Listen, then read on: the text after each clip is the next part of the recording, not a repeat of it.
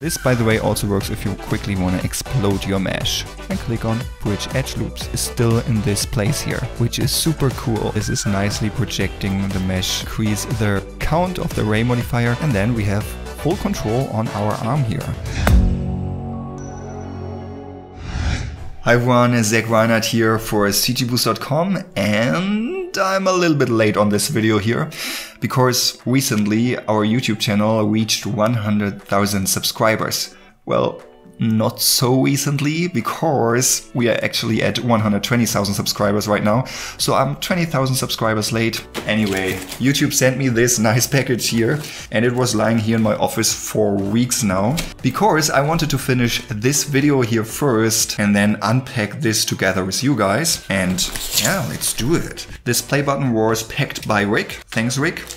And oh my god. That's the play button. I don't know if you can see it. Presented to CG Boost for passing 100,000 subscribers. Let's put it here somewhere. Yeah guys, and this play button we only got through your support, so a huge thank you for all the support for all the years. Thanks a lot. So yeah, and why does it took so long? Because editing and putting together this video was a huge undertaking as you might can imagine. Anyway, in this video I packed in over 100 modeling tricks and modeling tricks in a broader sense that means basically everything that can help you to speed up the creation process of 3D objects. That certainly includes edit mode tricks, modifier tricks, but also a bunch of user interface, navigation, selection tricks and so on and so forth. But anything some kind of related to 3D modeling. And the best thing is for all the tips I show you here, we only use Blender internal tools or add-ons that are shipped with Blender anyway, so no external add-ons or paid products required. This contains a lot of tips I use a lot in my daily work, some things I've learned recently, and also some nice tricks I learned from colleagues and friends like Juan Hernandez, Julien Kaspar, and Jan van den Hemel, besides probably a lot of other people I can't remember. So thanks guys. And yes, it is a very long video, but to make it easier to consume, I added a whole list with all tips down below in the video description, including timestamps, which you can click on, and categorized in different chapters, so you basically can just click on the stuff that interests you.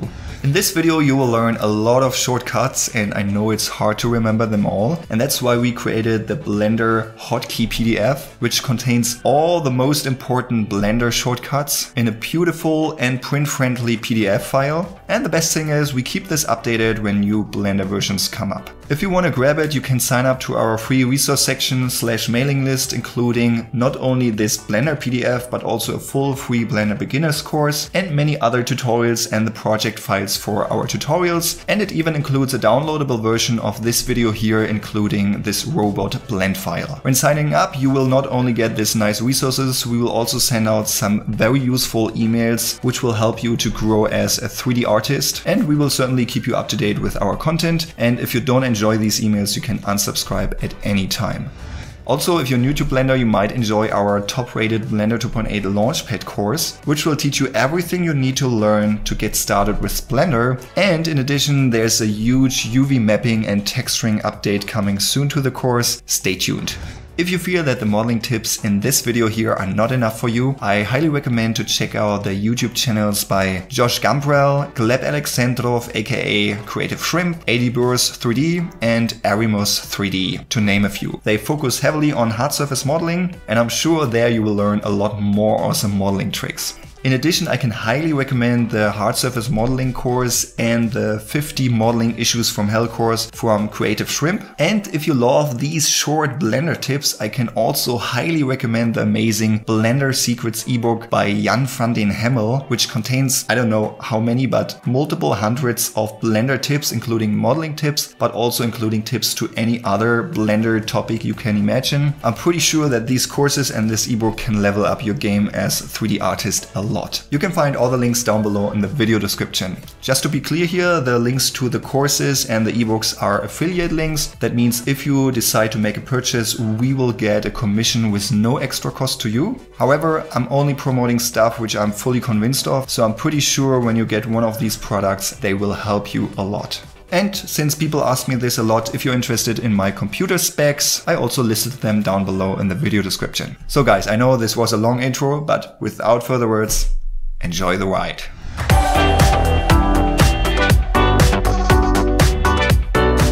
When you select an object and hit tab, you switch to edit mode, which is nice. However, sometimes you quickly want to switch to the other modes and you don't want to go up here and select the specific mode from the list here. What you can do, you can press Control tab and hold this to open up the mode pie menu to quickly switch to another mode. You can hover over to edit mode, for example, and just release the buttons to quickly switch to edit mode. And the same works for all the other modes as you can see. However, since this is a shortcut we use a lot, pressing Control tab feels a bit weird so let's go to Edit, Preferences, and here under Key Map, you can either check tab for pie menu. That means if you press tab, the pie menu appears immediately. Or if you still like the single tab press to quickly switch to edit mode, you can also enable pie menu on drag, which I have enabled. If I now press tab, I switch to edit mode, but if I hold tab and move my mouse in a specific direction, it opens the pie menu and then I hover above the specific mode and then release my mouse. And this allows us to switch to different modes in less than a second, as you can see. As you probably know, up here you can change the viewport shading to wireframe, solid, material preview, and rendered. However, if you don't want to always go up here, you can also use the shortcut Z, which by default is just switching between wireframe and solid viewport shading. However, if you hold down Z and then move your mouse in a certain direction, you can see this pie menu pops up, which allows us to quickly change between different modes. Besides changing the viewport shading, the X-ray mode is very useful because it let us see through objects and in edit mode it also allows us to select anything which is on the other side of the mesh. And for that there's also a shortcut, simply press Alt Z to turn it off and on. I'm in solid mode over here and you might wonder why the surface of the object is reflecting. And that's because if I click this little arrow here, I change to MatCap and here we can pick a bunch of different MatCaps like this one here. And these MatCaps allow us to see surface imperfections better. As you can see over here, I added a few bumps to the surface. If I switch back to the studio lighting, you can see it's not so easy to tell. And there are special MatCaps like these ones here, which looking super crazy, but they allow us to quickly identify bumps in the surface. We also have the vertical lines here as you can see, or this MatCap over here can also help us to define surface imperfections. But usually when I work with very smooth surfaces, I either pick the red one or this one up here, which also gives us a good understanding on how smooth the surface is. Up here on top of this shape I have a nice big face, right? No, it's not a face, it is a complex geometry as you can see. However, when we take a look from above, we can't really see all these details. This can make modeling harder. However, if we go up here to the viewport shading settings, we can enable cavity. Here we have two options. We have the world cavity, which basically adds some kind of ambient occlusion effect. And we also have the screen cavity, which in this case is a bit hard to see if we make it a bit stronger, you can see this adds this very bright edge to the sharp edges and this dark edge to all the corners here. So screen is very sharp and thin and world is soft and wider. You can also control the strength over here. And if you click on this gear icon, you can also change the size, the distance. And under type, you can also select both to have a mixture of both. And then you can set up the strengths for each of them individually. And now we can see the surface of the object very nicely because we can see some kind of depth of the whole shape here. When working on your scene where you have many different objects, it can be sometimes hard to distinguish which object is separated from each other. And to make this easier, we can go up here to the viewport shading settings and under color enable random. This will give each individual object a random color. Here for example, without selecting this, we can see that these two cylindrical shapes belong to the same object. This little feature here is a lifesaver. When you select an object, you can hit period or comma on the numpad, depending on what language keyboard you're using, and this will center this selection as you can see. This can be super useful to quickly navigate through your scene, and sometimes you maybe get stuck while navigating your scene. This can recenter everything around the object of interest. And the cool thing is this not only works in object mode, this even works in edit mode. Depending on what you have selected, you can center the selection and even cooler, if you have a long list of elements in your outliner and something is selected over here, you can use the same shortcut to center the selection over here. However, when you don't have a numpad, you probably should buy a keyboard with a numpad because it's super useful when working with Blender. However, you can always click on View and click on Frame Selected. Here in the outliner, you have to right click, go to View and then click on Show Active. Being able to navigate fast and efficiently in the 3D viewport is super important to speed up your modeling process. However, the default navigation settings in Blender are not really beneficial in most cases because when rotating, we are not really rotating around what we have selected, as you can see. And when we zooming in, our view can get stuck at some point and this, especially for beginner users, can be really frustrating. To get out of this stuck situation, you can use this frame selected shortcut, period period on the numpad, which I showed you in one of the previous tips. However, there are some other settings we can enable which makes navigating much more fun. For that, we can open the preferences over here under edit. However, in this case, let's change the properties editor to the preferences. So we have them open all the time. Then navigate to navigation. And first of all, as you can see by default, we are zooming in and out just straight into our scene, no matter where our mouse position is. And we have a nice option over here, zoom to mouse position. If I enable this, you can see we are now zooming to the position of our mouse. And this alone gives us a lot of control to navigate our scene just by zooming out, changing the position of the mouse and then zooming in once again. Then the next feature which is super helpful is auto depth. This detects geometry underneath our mouse cursor and this allows us to really zoom into where we want on the surface. And this feature helps us to avoid this getting stuck problem. As long as there's geometry underneath our cursor, we can basically zoom in and out without any problems. And the last feature is my personal preference. This is orbit around selection, which in some cases is pretty nice, but in other cases it's not. So you have to try out if this works for you or not. This allows us to simply select anything and then when we rotate the view, this will orbit around the selected elements, which is super helpful in my opinion. However, if for example you have something like this selected and want to look around down here and then rotate the view, it is still rotating around the selection, which then can be confusing. Certainly you can select the element over here, but imagine this is like one big object and you want to take a look around down here and the center is up here, then this is really hard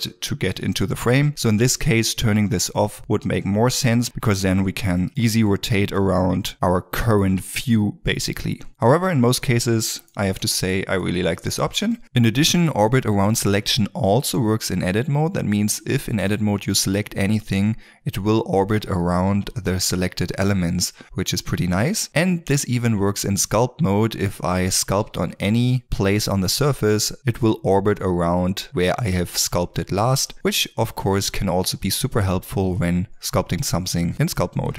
So here we have a long list of elements and sometimes, for example, when selecting the head, it can be helpful to basically hide everything except the head, or if you select multiple objects, to hide everything except the selected objects. You maybe know the shortcut H to hide the selection, so we could press Ctrl I to invert the selection and press H. However, sometimes you have objects hidden and you don't want to unhide them. That means when you do this, you always unhide all objects. That means also all objects which you have hidden and you don't always want to show again. And even when working with the eyes, this can be quite time consuming to pick the right objects. So let's press Alt H to unhide everything. There's a better way to deal with that by using the local view. Simply select a bunch of objects or just one and then hit slash on the numpad. Now you can see nothing is hidden over here, but we can only see these objects since we are now in local view you can see it up here. This is a kind of isolated view where we only see the selected objects. And if we hit slash on the numpad again, we get back to the non-local view. However, if you don't have a numpad, again, I recommend to get one, but you can also go to view, local view and click on toggle local view. In addition, if you want to remove something from the local view, you could certainly go back, select the objects you want to have and then go to local view again. But you can also simply select something inside of local view and press M to remove this from the local view. This you can also find up here under view, local view and then click on remove from local view. And then nothing is here anymore. Damn it. So this tip here is kind of special, but can be useful in some rare cases. Let's select this object, for example, go to edit mode and let's select this face here. Now let's hit shift numpad 7 and then the view will be aligned to the normal of this selected face. We can also use the other viewpoints like shift numpad 1, 3, 7 or control shift 7, 1, 3 to view it from the other side. And now since the view is perfectly aligned to the surface of this object, we can for example see that this USB flash drive is not perfectly straight. Same for this thing over here. So we could adjust this. And as always, if you don't have a numpad, you can go to view, align view and then align view to active and then pick whatever you want. For example, top view and then you can view it from the top of the face normal. Let's assume that we want to work inside of this robot head here, for example, and change anything there. This can be quite hard because the whole object is in the way. We could try to zoom in here and then get inside. However, there's a feature which can help us. Simply press Alt B and then select an area which should be visible and then the rest will be cut off, but just for the view, not like a boolean or anything like that. And now we can go inside here, simply do what we want to do something like this, and then press Alt B to remove the clipping border, and then, as you can see, the editing was quite easy. When modeling your objects, it can be useful to view your object from different angles at the same time. For that, we can enable quad view. The shortcut is Alt Control Q, and then you can see the 3D viewport will be splitted into four different windows. You can also find it under View, Area, toggle quad view. Now you can see we have the 3D viewport up here, then we have the top view, front and the right view. And with the default settings, you can shift middle mouse button click, move these views around. As you can see, you can also zoom in and out if you like, but there are some additional options. If you press N, it opens up the sidebar. And then if you go to view, you find this quad view panel over here, which only appears if you have quad view enabled, as you can see. If you disable lock, you're completely free to change the perspective in each of those windows. You can even change to perspective view if you like. And when you're done, simply click on lock again. Then we have the box option, which allows us when I move anything here, all the other views will be adjusted automatically. Even when I change the position here, you can see how this also affects the y-axis up here. And when I change the x-axis over here from the view, it will also change up here. So in this way, you will always focus on the same area. And the last option we have here is clip, which adds a kind of clip region as I've shown before. When I, for example, move this part here to the front, you can see this line here. When I cross this line, this will be cut away and this will also affect the other views as you can see, which is an interesting feature and might be useful when working in edit mode for example. Let's enable X-ray and now I can see inside here directly and change anything here on the back side of the robot. Yeah, and if you want to turn it off, press Alt Control Q once again. When you start Blender, you will be greeted with a splash screen, which looks pretty nice and has some useful features, but if you're not making use of this at all, you always have to do an extra click in order to get started. In fact, you can disable the splash screen completely. If you go to Edit, Preferences, and then under Interface, you can disable the splash screen. And if you need the splash screen at any time, since from now on it will not be shown when you start Blender, you can always click up here on this Blender icon and click on splash screen to get it back if you need any option over here or just want to look at this beautiful image.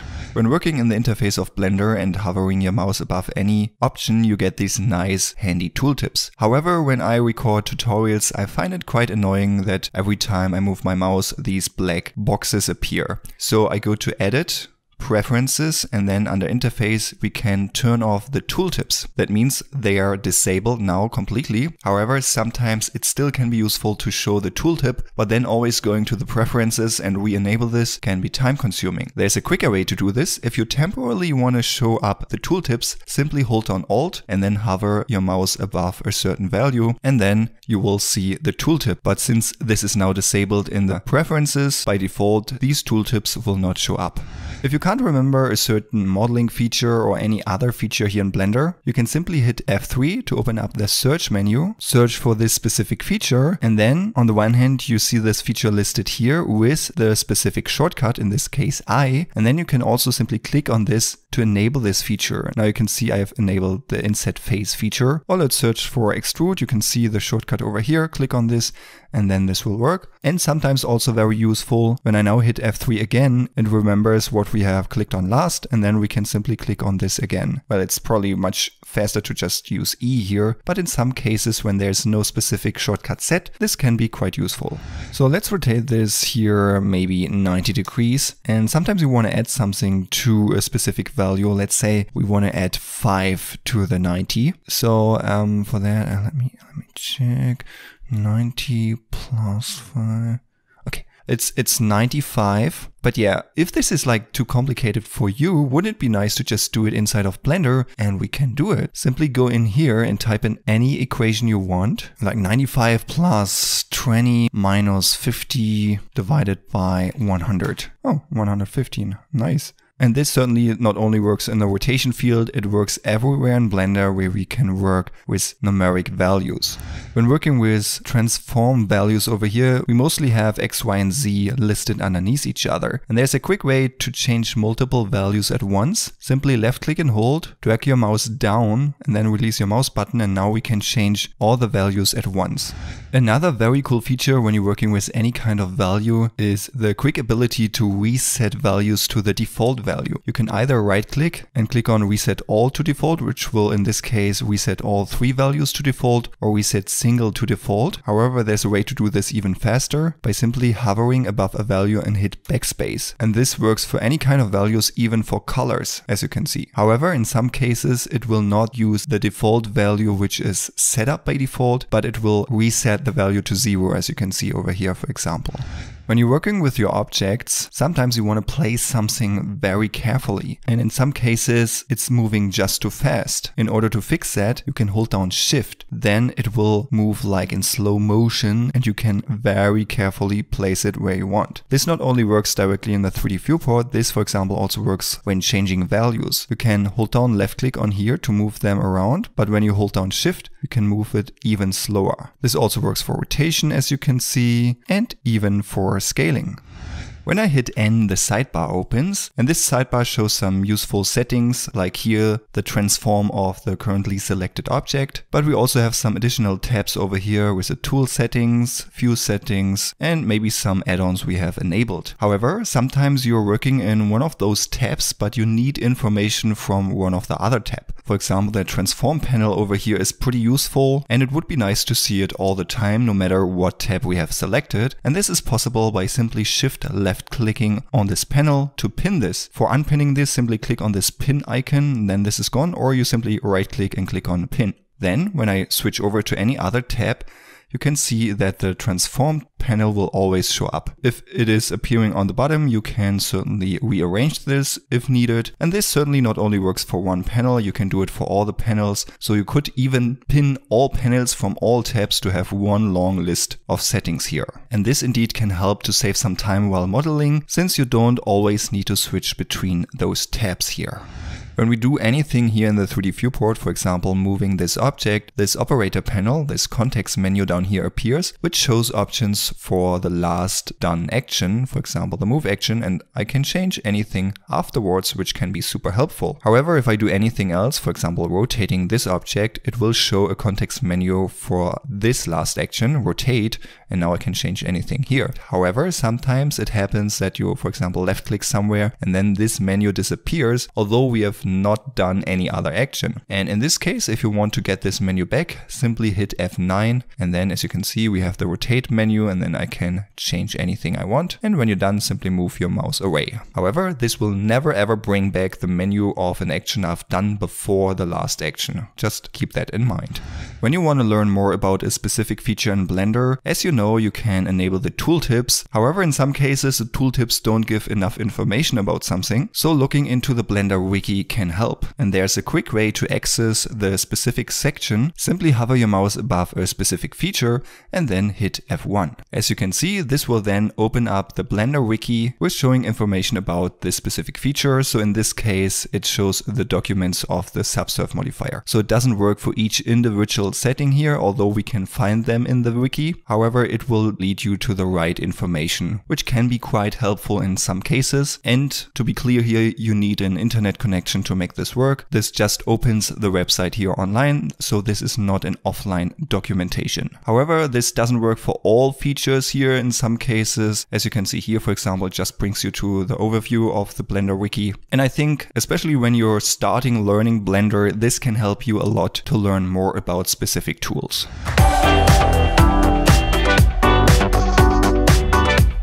Sometimes you just want to select a certain part of your mesh and it can be pretty time consuming to select all these different elements. In this case, the grow shrink selection feature can help a lot. So simply select a loop or one element and then hit Control plus on the numpad to grow the selection and Control minus to shrink the selection. One other selection tool I use in edit mode a lot is the linked selection. That means you hover above the mesh and press L and all the connected faces will be selected. With Shift L you can also deselect the linked faces. This linked selection has one other cool feature. You can see this mesh has some red marked edges. I selected these edges and then I pressed Ctrl E and marked them as seam. A seam you need to create UV maps. If I now press L over here and down here in the operator panel I set the delimit limit to seam. That means the link selection will be limited to the area of the seams. So up here I have a bunch of other seams, which can be a great tool to quickly select different areas. According to different properties, you can see you can delimit this to other properties as well.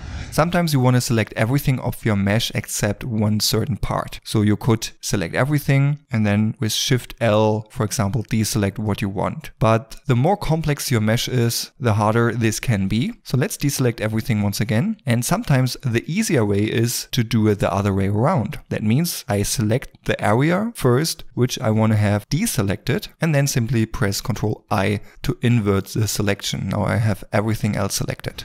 Sometimes it can be useful to select every second phase of a loop, for example. In order to achieve this, select one loop, then go to select and click on checker deselect.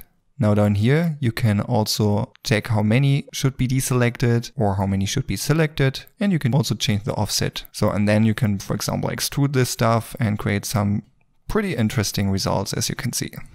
One of the coolest selection features is select shortest path. If you select a face, edge or vertex, then hold down control and select another one, the shortest path will be selected. Then down here we have some additional features like face stepping. That means the selected faces will not really be connected, but it will use the direct way to connect to the other selected face as you can see. Then we have topology distance, which tries to make the selection with as few steps as possible. And then we have fill region, which fills the whole region between these two faces, which by the way, you can also use directly using a shortcut by holding down Control Shift and then left click select another face.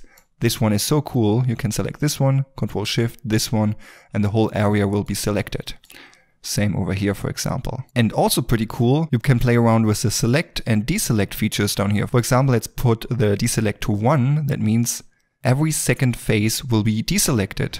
Sometimes it can be useful to select random vertices, edges or faces on your mesh. For that go to select and click on select random. Now it will randomly pick elements to select. Down here you can change the percentage, you can pick a random seed and you can even change it from select to deselect. That means if you have everything selected, you can click on select random and then it will deselect random elements. And then you can use Alt S to deform this and then this looks pretty ugly. I am in edge select mode. Let's select one of those blue edges here. Here I added the bevel weight to add a bevel to this edge using the bevel modifier. We will learn more about this later. However, this edge is now selected and if I press Shift G, I can open up the select similar menu. And as you can see, I can now choose from different properties, for example, in this case, bevel, then it will select all the other edges on this mesh with the same property. If we change over to face selection or vertex selection, and then if I press Shift G, you can see we have different properties to choose from, for example, the face normal. Then it will select all the other faces with the same normal. And down here in the operator panel, I can also change the threshold. When I increase this value, it will also select other faces which has a quite similar normal, but is not exactly the same as the selected face. By the way, in object mode, this works quite similar. Select an object, hit Shift G, and then you can pick different properties this object has, and then all the other objects with the same property will be selected. For example, I can click on type, then all mesh objects in the scene will be selected as you can see.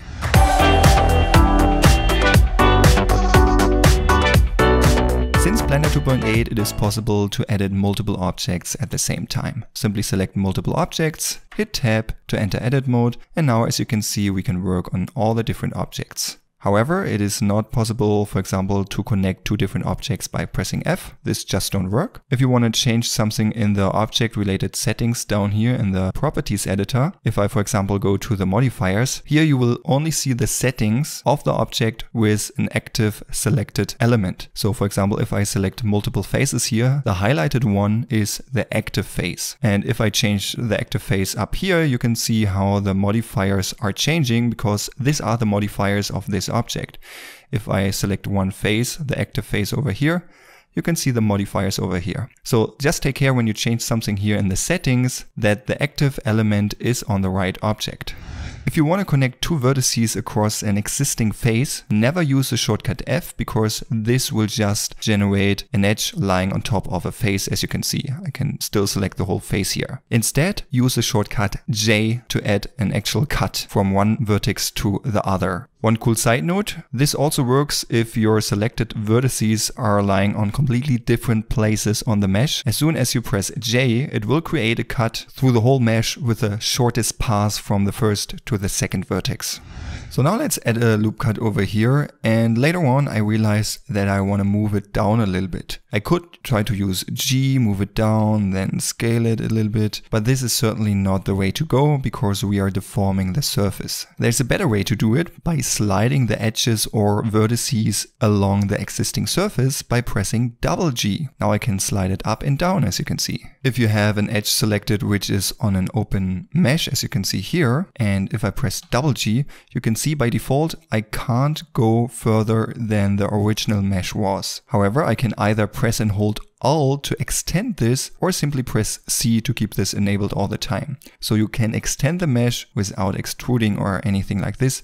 Let's add two loop cuts over here and both are selected. Now let's press double G and slide this and as you can see, since the faces these edge loops sliding along are different in size, they don't move evenly. For example, if I want to move them the same distance. And for that you can press E and now both are moving evenly and if you want to flip the direction, you can press F. So it flipped to the other side of the mesh it is sliding along. Let's select this top loop here and when you press M you can open up the merge menu here you can either merge at first selected, last selected, center and stuff like this. Let's click on collapse to merge all these vertices. Let's select this loop once again, press E, right click, so it is extruded, but now the geometry lies above each other. So we get some glitches and errors. And in order to fix this, you can also use the merge menu, select everything, press M and click on merge by distance. Then down here you can change the merge distance and down here you can see how many vertices were removed. So if you want to merge all vertices which lie pretty close to each other, you can increase the merge distance. And if you overdo it, you get some abstract art. Pretty nice. Let's select the whole engine here. Shift D, duplicate this, press G, Z, move it to the top and rotate this 90 degrees. And now I want to connect these two pieces here. And for that I can enable auto merge vertices up here. If you don't have this tool settings bar up here, click on view and enable tool settings. Now, when vertices lie pretty close to each other, they will be merged automatically. So I press G, C, move it up a little bit so that the two loops in the center lie above each other, left click, and now as you can see, they are merged. Also pretty cool, if you select the whole loop here, you can press double G for the slide option. And if I slide it up here, left click, it will be merged with the other loop here. In addition, you can also enable snapping with vertex snap, for example, and then snap vertices onto each other and they will be merged automatically. When you want to remove an edge or a vertice or a face from your mesh without leaving a hole in the surface, you can use the dissolve options. So here I selected one edge loop, then you can press X, and then as you can see we can dissolve vertices, edges or faces. In this case I dissolve the edges and they are gone and the mesh stays intact. When you have the edge selection enabled up here, let's select a few loop cuts. Then I can simply press Ctrl X to dissolve these edges. And this is perfect if you want to quickly remove unnecessary loops from your mesh, for example. There's another cool option. Here we can see this perfect looking face. However, it's not perfect. It has a lot of weird cuts. In order to get rid of this weird cuts, simply select everything, press X and then click on Limited Dissolve. This will remove all the unnecessary edges and vertices from your mesh so that the volume or the form of the mesh still stays intact. Sometimes this works pretty well, however in some cases as over here, if I select everything, press X, limited dissolve, this doesn't work perfectly as you can see, since it removes some of the edges which we still want to have. Down here you can change the angle if you like to dissolve even more stuff and then again we have some nice abstract art. When you're in edit mode and have something selected, you can simply hold down Ctrl and right click somewhere to extrude to your mouse position, which is pretty amazing and which can be useful to share some love. Did you know that you can mirror in edit mode without using a mirror modifier? Let's join these two objects together with Ctrl J and very important, now you can see the origin is over here, but it has to be in the center. So right click, set origin, origin to geometry. Now it's in the center here. The object is symmetrical. And now if I go to edit mode, up here, I can enable mirroring. To know what axis to mirror, up here, change to the local transform orientation and enable the move tool. Go to object mode and now you can see the green axis is the one I want to mirror. It's Y, so let's enable Y up here. And now if I change something on the one side, it will automatically change on the other side. However, this will only work with the existing geometry. If, for example, I start to extrude something over here, this won't work. As you can see, this will deform the other side right now, but this won't extrude anything. So this is only useful if you want to quickly change the shape of an object with the existing geometry and mirror the stuff to the other side. Let's add a loop cut over here. And now I realize that I want to rotate this a little bit more to match this loop down here. However, if I now press R to rotate this, you can see that we will deform the geometry. And in order to achieve this without deforming the geometry, we can use this nice shear tool. Now we can click on one of those axes and kind of rotate this loop here without affecting the shape of the underlying geometry. Let's enable the move tool and up here in the transform orientations menu, let's check normal. Now we can select faces and the gizmo of the move tool will change its position according to the normal here. Now we can move this like this. This is pretty cool, but it involves a lot of steps. There's a way to do this even faster without changing anything over here. And this is by using the shrink fatten tool, which you can enable by pressing Alt S. And then you have the same effect this also can be used to make things thicker or thinner, as you can see, or over here to make this bigger, maybe this one a little bit bigger, or let's make this one here a little bit wider, Alt S. And as mentioned with Alt S, you can also make things thicker or thinner, which is super useful. So if you want to close an open hole in your mesh, you can simply select all the edges around it and press F. However, then you just have one big n-gon, but in some cases you want to have a nice quad mesh. In order to achieve this, select the whole loop, make sure that the vertices around the open hole have an even number, and then press Ctrl F and click on Grid Fill. Then this open hole will be filled with a nice grid of quads. Down here in the operator panel, you can change the span to better fit your mesh and change the offset, which basically rotates the whole thing. Beveling is not only possible using a bevel modifier, we can also do it directly in edit mode. Simply select an edge or multiple edges and press Ctrl B to bevel this. When scrolling the mouse wheel, you can add segments here to make it smoother. After confirming this, down here in the operator panel, you can change all the settings. You can change the offset as you can see, segments, the profile if you like, and you can even set this to be vertex only. This adds a pretty cool effect. Let's press Ctrl T to triangulate this. There's even a shortcut to bevel vertices directly. Simply select a bunch of vertices and press Ctrl Shift B. And then we can extrude them. Pretty interesting. To add thickness to an object, you can either add the solidify modifier or you go to edit mode, select everything, press Ctrl F, and here you can also solidify the faces. Down here you can change the thickness and make sure when you go into the negative direction to select everything, press Shift N to recalculate the normals so that you don't get any shading issues. Well, that's a thick node. Same as for bevel and solidify, you can even use boolean operations directly in edit mode. Simply switch over to edit mode, add a mesh element here, maybe this cube here, move it where you want to have it, then make sure that the whole thing is selected. If not, hover your mouse above this and press L then the whole connected part will be selected and then simply press Ctrl F and click on intersect boolean. Then this will be cut off as you can see and down here you can even change the boolean from difference to intersect or to union if you want to merge both objects. Okay, this trick does not work all the time, but in some cases this can be quite useful. Sometimes you have some open holes in your mesh and you quickly want to close them. One way to do it is to simply select everything and press F. Then all the open holes will be closed. However, then you also get some of these n-gons here. Let's undo this. However, there's a more elegant way to do this. For that, make sure that edge selection is enabled. Then go to select Select all by traits and click on non-manifold. Now as you can see it will select all the open holes and now you can press F to fill these holes, then Ctrl T to triangulate and then press Alt J to convert the tris into quads. It involves a few more steps but in this case here you can see this worked quite well, however in some other cases this doesn't. Up here you probably would use the grid fill option which I showed you earlier. The knife tool by pressing K is a great tool to add additional geometry to your mesh.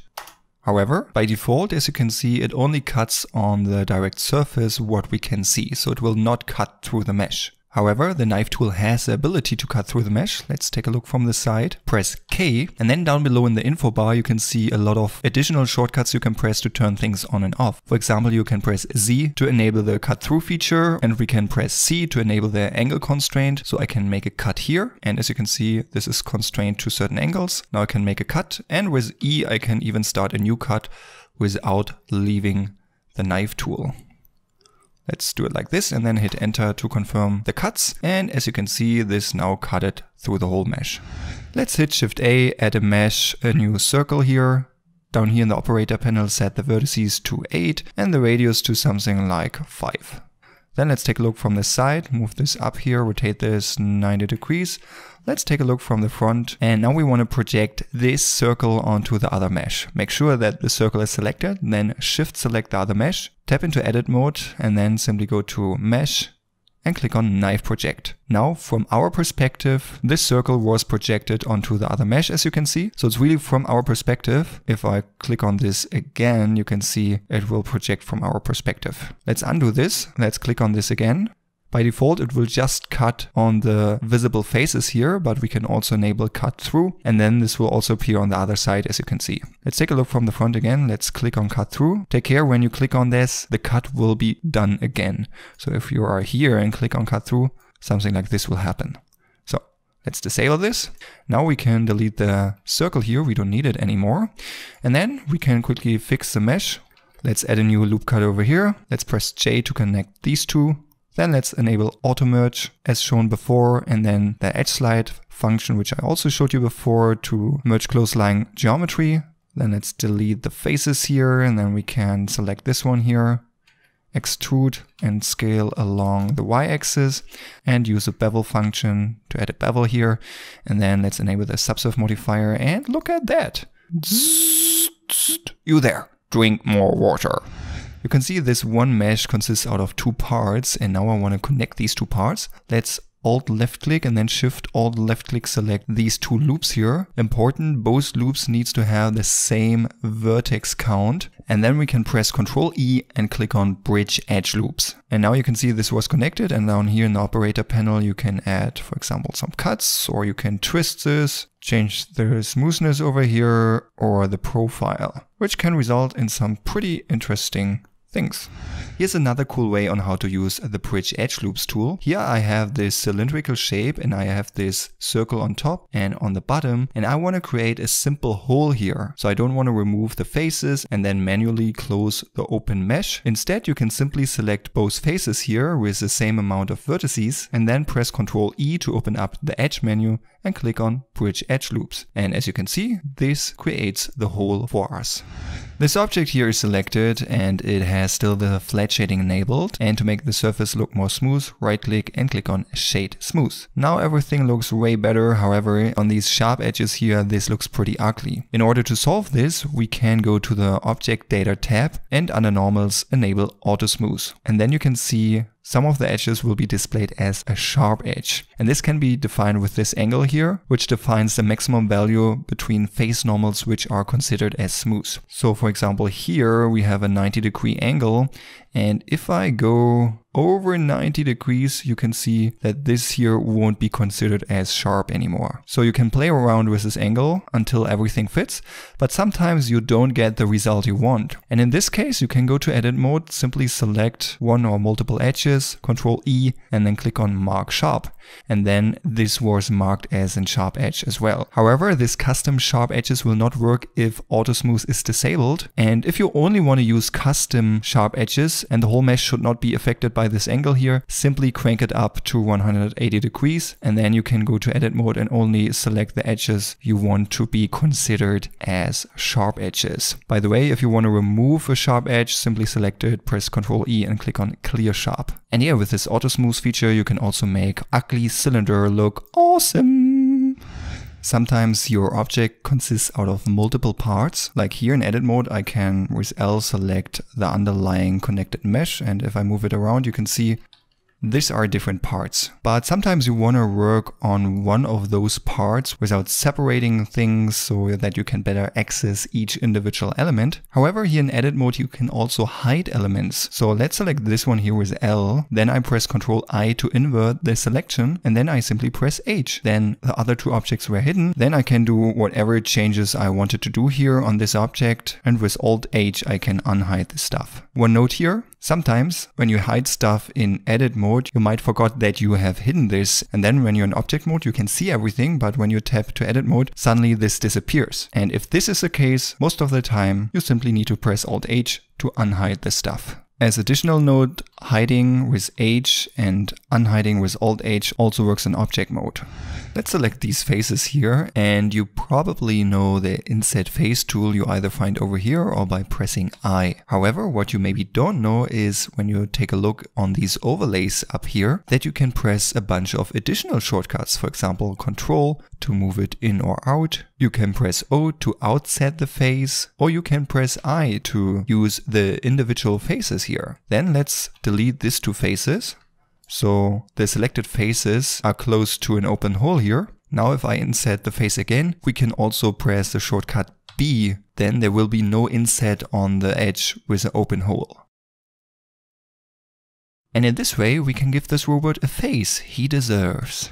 Sometimes you want to create nice creases. For that, you usually add multiple edge loops around one existing edge loop and then with Alt S you can shrink fatten this. This works, however this is not the best way to do it. One other way to do this is after selecting the edge loops you can press Ctrl B to bevel this and with a mouse wheel you can add multiple segments like one in the center then you can select both of them Alt S scale them in and out and there's even a third way to do this. Let's select these two, hit Ctrl Shift R to use the offset edge slide feature. This creates two new edge loops around the selected ones and you can slide them along the existing geometry as you can see. However, the distance is different here according to the size of the faces they are sliding on, but you can use additional shortcuts as you can see up here, for example by pressing E to make them even with F you can flip them and with C or Alt you can clamp them so you can go further than just the existing geometry they are sliding on. Then place them somewhere here, select the inner loops, press Alt S and then you have some nice creases.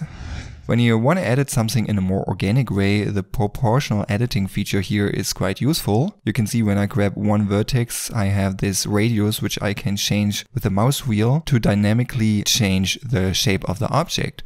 We can even change the offset here, maybe to random to quickly deform everything. However, this feature is sometimes not so intuitive since we always need to select all the different things. What we can do instead, we can go over to the sculpt mode and use the grab brush instead, which you can also enable by pressing G. And then with F, we can change the size. Let's disable X mirror here. And then we can simply drag and drop the geometry, which is pretty cool to quickly dynamically change what we have here. Certainly you can also use all the other brushes to do some crazy stuff with your existing geometry.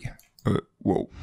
This one object here consists out of multiple mesh parts. If I go over to edit mode, hover my mouse above one part here, press L, you can see all the connected elements will be selected. And when I move it, you can see this is not connected to the other pieces. And this object consists out of multiple such pieces. And sometimes you want to separate all these different individual elements from one object into multiple objects. You maybe know this feature when something is selected here in edit mode, you can press P and click on selection to separate the selected elements into a new object. However, when you want to do this for all individual parts, this can take a while, but luckily there's a fast way to do this by simply pressing P. You don't need to select anything in edit mode and then click on by loose parts. And now all the different elements here are separated into different objects. However, the origin, the yellow dot down here, is still where it was originally. However, you can simply select everything, right click and click on set origin, origin to geometry. And now all the origins are kind of in the center of these different elements.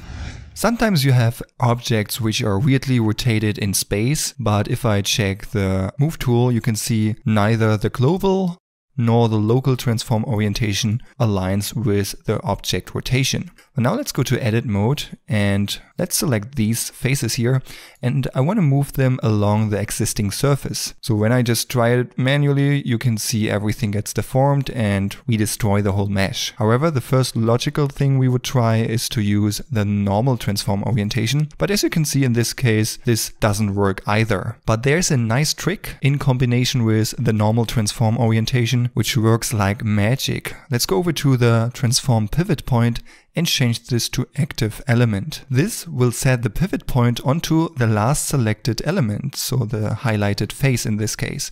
And now you can see the transform orientation aligns to this specific face. And in this case, this works like charm. And even cooler, you can even use the transform orientation of faces which you don't want to move. For example, I can select this one here. However, if I would move this now, this face will move along with the rest. But if I shift select this once again, this is deselected, but it's still considered as active element. And the pivot point is still in this place here, which is super cool. Let's select this one here, for example, and move it along here. This active pivot point can also be used to rotate stuff. Let's select this stuff up here and with Control plus on the numpad, let's grow the selection. Let's select one vertex here. Now if I rotate, you can see this active vertex will be used as pivot point to rotate the selection. The same applies for scaling. For example, let's use the edge selection. Let's move this edge down here. And if I now select multiple other edges and as last one this one here, I can simply press S for scaling, lock this along the x-axis in this case and hit 0 on the numpad, enter. And now as you can see all these other selected edges were scaled to the height of this edge here. Same applies for faces. Make sure that normal transform orientation is enabled. Let's select multiple faces, then select one as active element Let's enable the move tool to better see it. And now if I scale this along the z-axis, press 0, everything is scaled to align with this specific face. Pretty awesome. Let's select multiple faces here, which are not connected to each other. And if I now hit scale, for example, you can see by default everything scales together since up here median point is enabled for the transform pivot point. However, if we change over to individual origins and if I now press S, you can see I can scale each face individually. However, if there's a bigger area selected and all the faces are connected to each other, this will be considered as one element when I scale, rotate or extrude. This also works in object mode if I select everything and now press S for scaling or R for rotation, you can see it is now rotating around each individual origin. Let's enable X-ray either up here or press Alt Z so that we can see and select through the mesh. Now let's take a look from the front and select the upper part here. Now up here, the transform pivot point is set to a 3D cursor. And now with shift right click, you can place the 3D cursor somewhere. And when I enable the move tool up here, you can see that the transform gizmo is now placed on the position of the 3D cursor. That means if I now press R for rotation or S for scaling, it will use the position of the 3D cursor. But take care, by default the 3D cursor will be placed on the surface, so when I hit scale it will also scale to this position here. But this is especially cool if you quickly want to rotate stuff.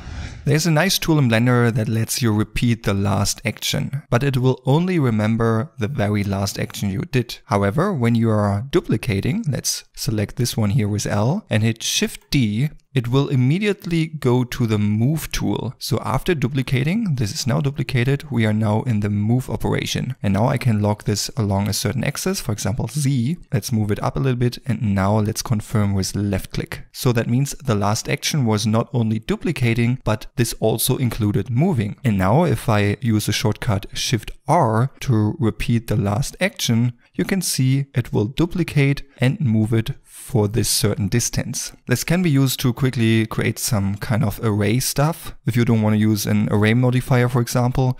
And this not only works in edit mode, this also works in object mode. Let's hit Shift D, don't confirm the position yet, move this along a certain axis for example like this and then hit Shift R to repeat the last action. When you're working with the boolean modifier a lot, it can be quite time consuming always going to add modifiers, boolean, then pick the boolean object and then work with this and then add the next object, add another boolean modifier and so on and so forth. And in this case, the bool tool add-on comes in handy, which is shipped with Blender. We just have to enable it under edit preferences search for bool and then enable this. Now simply press N and here you find the bool tool add-on settings under the edit tab. And here you have the typical boolean operations plus the slice function. And now all you need to do is to move these two objects into each other. Auto boolean will add the boolean modifier and then apply this immediately. So in this case, I select this one first, the boolean object first, then the object where we want to apply the boolean modifier on. And then we can either click on difference, union, intersect or slice. And as you can see, no modifiers will stay here, we just have the finished mesh. However, when you want to stay flexible, you can use the brush boolean options down here. So same workflow, select this first, then the other one, and then click on difference. And then as you can see, on this object, a boolean modifier was applied. The cube over here will be set to wireframe automatically, so we can better see what's going on here. And certainly we can also do this for multiple objects. So let's select these two, then this one here, and then let's click on difference, for example, then you can see it creates two Boolean modifiers. And over here, we can also control everything. We can hide the Boolean objects. We can apply all modifiers or we can remove all modifiers. And down here, you can control the settings for each of the Boolean modifiers. And you can also change the order if you like and even delete them. Another awesome modeling add-on, which will make your life a lot easier is the loop tools add-on. Go to edit, preferences, add-ons, search for loop and then enable mesh loop tools. And then you also find it in edit mode. When you press N, go to edit and here you find loop tools. It has a lot of functionalities as you can see and I don't want to show you everything. One thing I use a lot, which helped me in many situations is the circle option. Just click this and it will turn everything you select into a circle if it's possible. And each feature as you can see has additional options, but these up here will only be applied when you click this button again. If you want to change this on the existing circle which you just created, you can go down here into the operator panel and change values over here to make it fit your needs better. Now we can extrude this and then let's also use the flatten function over here, for example. Then let's add the mean bevel weight and let's also add this to this loop over here. And then you can see we created this nice cylindrical shape very quickly, which is directly connected to the mesh, which is otherwise much harder to do. So check out all the other features you have here. They can help you a lot when modeling stuff. And here's another small but very cool modeling add-on which can make your life easier. Go to Edit, Preferences, Add-ons, search for F2 and enable this. This now gives us the option to simply select one vertex in the corner. So we have two edges connected and then press F and this will create a new face over here. Right click and then it will jump back. In this case, you can very quickly close meshes. And this tool is also very useful when it comes to retopology, for example.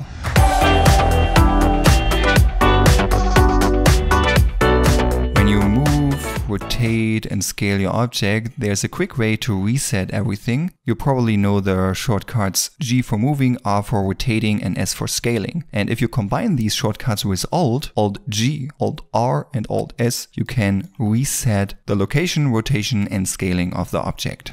Let's enable the move tool here and then we see this manipulator, this gizmo on the selected object. This can be pretty handy, especially if you up here change the transform orientation to local to see the individual local axis of all these different objects here. However, sometimes you want to use a different tool over here or don't have the move tool enabled, but you still want to see this gizmo. And this you can turn always on if you click on this arrow here under viewport gizmos and then you can enable move, rotate, or scale or all of them together. I think move makes most sense. And up here you can also change the orientation. Default will use the orientation we set up over here as you can see. And then no matter what tool you have selected over here, it will always show the move manipulator, which can be quite useful. Sometimes the origin of your object is out of place and you want to change the position because it affects rotation, for example, and scaling, and also when animating the objects later on. In order to change this, you can enable the move tool and up here under options, you can enable origin. Now you can simply move the origin wherever you want. You can even use the rotate tool and all the shortcuts for transforming objects because it basically acts as if you would transform an object, but in this case, you just transform the origin. You can even combine it with any snapping tool, for example, snap to edge center. So it snaps to the center of an edge underneath the mouse cursor. And when you're done with positioning your origin, you can simply disable this option up here so you can move the whole object once again. Here I have this head object and all these other objects are parented to the head, meaning when I move this, everything else moves along with it, but I can still move each individual child object on its own. However, now I realized that the parent object, the head here, is moved too far downwards. Now I want to move it up without moving all the child objects, which is not possible right now. In order to do that, you have to go to options up here and click on parents. This means if I press G and Z, I now can move the parent without affecting the children. So I can move it up a bit until it fits. And then I simply disable this option here. And now the parent works as expected. Here I want to change the distance between these two objects but I don't want to move this one first. Remember how many centimeters I've moved this and then this one. Maybe we have even more objects selected. This can take some time. However, there's a quick way to do this. Select both objects, go up here to options, enable location, and now I simply press S for scaling, but in this case, it won't scale the objects, it will just change the position. So I can easily change the distance between these two objects. This, by the way, also works if you quickly want to explode your mesh. Here I have this little bolt object, very important. I have local transform orientation enabled to see the local axis and the z-axis is pointing upwards. If this is not the case with your object, press Ctrl A and apply the rotation. Then the origin is moved a little bit upwards so it's not completely on the lower end, but it should be set pretty low. Now enable snapping or you can also hold down Ctrl to temporarily enable this, which I will do. And then let's enable face snapping. What this does, when I now hold down control and move the object, it will snap to the faces, but you can see the rotation will not align. So let's also enable align rotation to target, which is already better, but still acts a bit weird as you can see. And to fix that, click up here and enable project individual elements. And now if I hit G to move it and control to temporarily enable snapping, you can see it will perfectly snap to the surface. And if I enable this all the time, I can simply Shift D duplicate stuff and then I can quickly add all these bolts to the surface. So here I still have face snapping enabled and I have this bolt selected, which I showed you in the previous tip. And when I now duplicate the same object all over the place, certainly the blend file will get bigger because we add more and more data. However, you can also duplicate an object with Alt D. This will create a linked duplicate, as you can see down here. So that means we have two different objects here in object mode, but when I switch to edit mode, both elements will use the same mesh. Let's take a look in here in the outliner. We can see this is bolt number five and this is bolt. And if I open these up, this one is using the mesh cylinder 005 and this one here the same. If I click on this and make one change on one of these objects, the other one will change as well. One additional info here, modifiers won't be linked. That means if I have some modifiers here, I can change them individually on all these objects, which can also help to create variations of the same object. And if I disable all the modifiers for all these objects and tap to edit mode, then we can also see the changes on the other objects in real time. So Alt D can simply duplicate them and now all the objects will change at once. This is perfect if you have the same object all over the place. And then if you want to make quick adjustments, this works perfectly fine. Coming back to linked data as discussed in the previous tip, what if you forgot to hit Alt D and press Shift D a few times and then realizing, okay, all these meshes are not linked to each other. How can we change this? Simply select all the objects and as last object, the one from which you want to link the mesh to all the other ones. Then simply hit Ctrl L and click on object data. Now the mesh from this object was linked to all the other ones here. So if I change something on one of these objects now, it will affect all the others.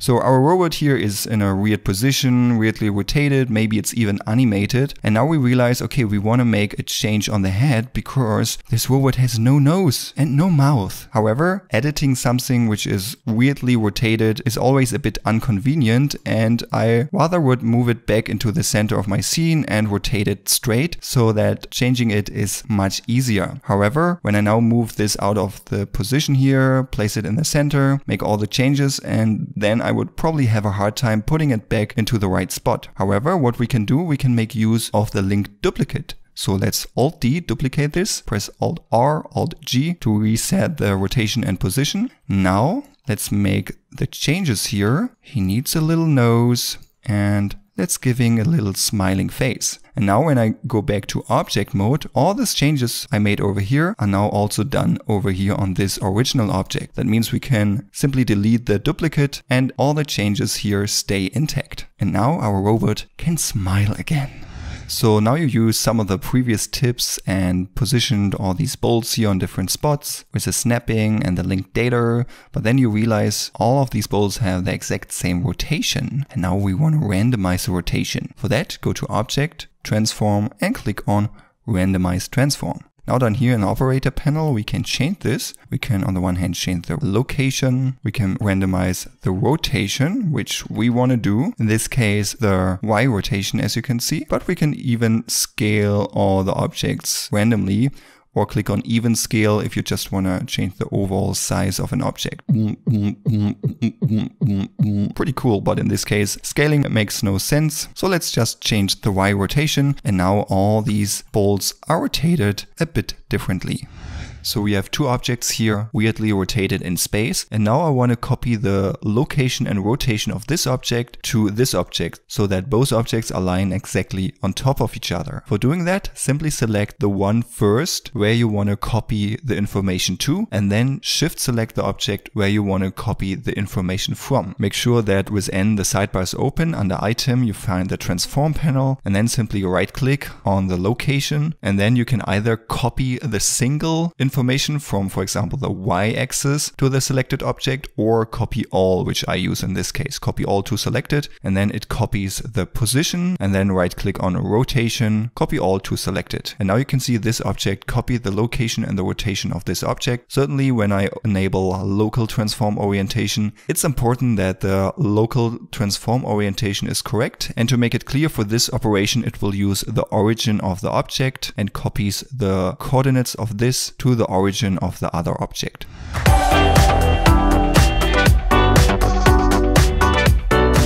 When working with modifiers, it can be quite time consuming to always go to the modifier tab, click on add modifier and search for the specific modifier. There's only one shortcut I know for the modifiers, which is control plus any number on the keyboard to add a subsurf modifier with a specific amount of subdivisions. However, there are some other modifiers which we are using a lot, for example, the bevel modifier, the mirror modifier, solidify modifier, you name it. And indeed, you can add a shortcut to these, right click and click on assign shortcut However, since Blender is using so many shortcuts, I wouldn't necessarily recommend this because we might mess up other shortcuts, but we can add these to the quick favorites menu. So simply click on that. Let's also add the mirror modifier and the bevel modifier. And now all you need to do is press Q and then you can simply use the mirror modifier and the bevel modifier. And of course you can change any settings over here. If you want to remove anything from the quick favorites menu, press Q and then right click remove from quick favorites menu. And then next time you open this menu, these entries are gone. And of course, you cannot only add modifiers to this quick favorite menu, you can also add any other function, for example, the randomized transform. So this is especially useful for all the features which don't have a shortcut assigned to. Sometimes you want to apply all the modifiers from different objects, but you don't want to go through them one by one and apply each and every modifier. There are add-ons which allows you to apply all the modifiers. However, there's a tool in Blender which has a different purpose but also does the same. So simply select all the objects where you want to apply all the modifiers, go to Object, Convert to, and click on Mesh from Curve Meta Surf Text. So these objects are mesh objects already and no Curve Meta Surf or text objects. But when you click on that, it will convert the mesh into a mesh basically. And in this process, all the modifiers will be applied from all the selected objects as you can see. So here a few of these objects are using the subsurf modifier and now I want to change the viewport subdivisions for all of these objects. When I have these three selected and just change the subdivisions here, you can see that it will only change it for the active element, the one with a brighter outline which I selected as last object. So it's not automatically changing the values for all selected objects. However, if you hold down Alt and change a value, you can see this will then affect all selected objects. This not only works for modifiers, this works for basically all values these objects share. So I can also select the location values, enter something here, and before I hit enter, I hold down Alt and then press enter, and then this will be applied to all selected objects, or I hold down Alt and simply change something, and you can see that this will apply to all selected objects. Sometimes you have set up a stack of modifiers on one object and then you want to duplicate these modifiers to other objects to save some time. And this you can easily do. First select all the objects where you want to copy the modifiers to and then with shift select the one with the modifier. That means this one is active now. This has the bright outline and now simply press Ctrl L and click on modifiers. Now you can see all the three objects are using the exact same modifiers. So here I have a simple object still with flat shading enabled. And now let's add a bevel modifier. A bevel modifier is always nice to add this beveled edges and there the light reflects in this so the whole thing looks way more realistic. By default now all edges from the whole object are beveled. In my case I set this to weight. You will learn more about the limit method in one of the next tips. And now let's right click and click on shade smooth. But now you see that everything looks kind of smooth and weird, so it doesn't feel right. And there's a quick way to fix this. All you need to do is to enable harden normals in the bevel modifier settings. However, you get a warning message down here that we also in the object data tab under normals have to enable auto smooth. And now all these weird shading issues will be solved. As you can see, the flat surfaces will look flat and the curved surfaces will look curved. And when you change the offset a bit, you can get really nice results as you can see. So here I have this very simple cylindrical object and now let's add the bevel modifier. Again, let's enable harden normals and auto smooth as shown in the previous tip. Now let's get back to the modifier settings. Let's change the offset a little bit so that it is smaller. And by default, as you can see, the limit method is set to none. That means every edge on the surface will get the bevel, which in most cases is not what we want. So we can try to use angle, which uses a certain angle to define where the edges should be beveled. So that means the lower the angle, the more edges will be beveled and the higher the angle, the less edges will be beveled as you can see. However, sometimes you don't get all the edges beveled which you want. For example, I want to have one beveled edge up here and maybe one on this edge. So what I would do instead, I would change this to be weight. That means I can go to edit mode, select all the edges or loops in this case, which I want to have beveled like this. And then up here in the sidebar, press N to open this. Under item, we find the edge data. Make sure it's not the vertex data. And here we find the mean bevel weight. That means this we can set from 0 to 1. 1 means it will uses the full 0.02 centimeters, which I've set up here. If I set this, for example, to 0.5, it will only use 50% of this and 0 certainly nothing. So you can define the strengths of the bevel modifier for each selected edge. So you can also go in here, for example, and say, okay, here I would want the effect to be not so strong, so I make it a bit smaller, and on others I want to have it stronger. And now you can clearly define which of those edges should be beveled and which not. Now let's have a look how we can use multiple bevel modifiers to stay very flexible while modeling. First of all, here in the Object Data tab, I have Auto Smooth enabled, so we can use the harden normal feature from the bevel modifier later on. Then on the modifiers, I added a quick mirror modifier, as you can see, to mirror this shape to the other side. But this looks pretty harsh and edgy. Now let's add some nice bevel modifiers. First of all, let's create one. Tap to edit mode. Let's select these two edges over here. Press N set the mean bevel weight to 1 and let's change the limit method to weight. Now we added the bevel here on the side. Let's add a bunch of segments here and let's play around with offset until this looks nice. This already works pretty well. Now we want to add a nice bevel edge on the side here. For that, let's add another bevel modifier and let's set this to angle first. Let's change the size. And as you can see in this case, this works quite well since here we have these very sharp edges. However, now we would be limited since we can't add any any other bevel modifiers using the angle method nor the weight method, since the mean bevel weight is a global change which will affect all the modifiers which are set to weight. And similar to angle, this is calculated automatically according to the angle you set up here, so we don't have any fine control. However, we have a fourth option over here, which is called a vertex group. That means we can define a specific group of vertices on the mesh which this bevel modifier should affect. So that means let's select this stuff here and then let's go down to the Object Data tab, Vertex Groups, create a new vertex group and assign all the selected vertices to this group.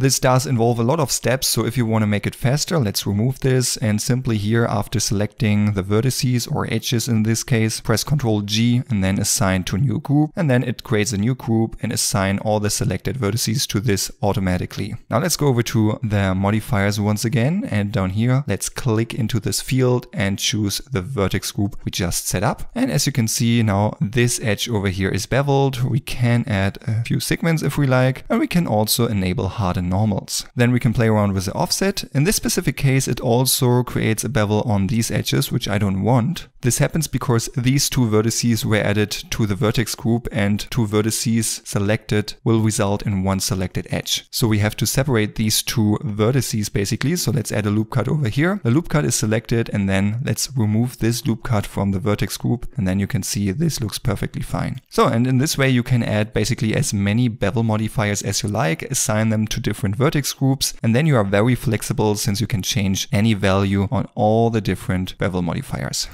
So here I have this head model of the robot. Let's right click shade smooth. And as you can see, this looks pretty ugly and the resolution is quite low. So let's add a subsurf modifier with two subdivisions by pressing Ctrl 2. However, this leads to a very smooth result. What we can do, we can switch over to edit mode, select some edges, and then we have the mean crease. When we increase this, this edge will be sharpened when using the subsurf modifier. And to be honest, for years I thought that this option is totally useful useless because when we switch over to object mode, we can see quite clearly this leads to ugly looking results. But since now we have a new option in the bevel modifier, this option is actually useful. So let's go to edit mode. Let's select one of the blue edges over here where I already added the mean bevel weight, which we discussed in one of the previous tips and which we will make use of in a second. However, to all of these blue edges, I also want to add the mean crease. What I can do, select this edge, press Shift G, and then we open up the select similar menu and here I click on bevel. So all the edges where I added the mean bevel weight will be selected and now let's simply increase the mean crease to 1.